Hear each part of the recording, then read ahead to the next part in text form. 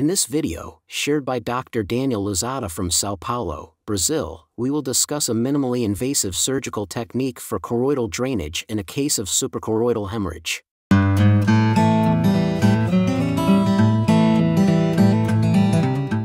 This involves a patient who developed suprachoroidal hemorrhage during a complicated phacoemulsification with posterior capsule rupture, necessitating choroidal drainage after two weeks.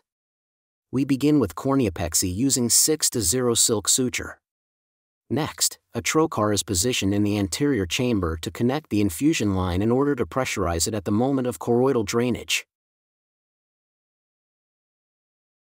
we measure 8 mm posterior to the limbus at the point of the largest choroidal detachment pocket identified on ocular ultrasound.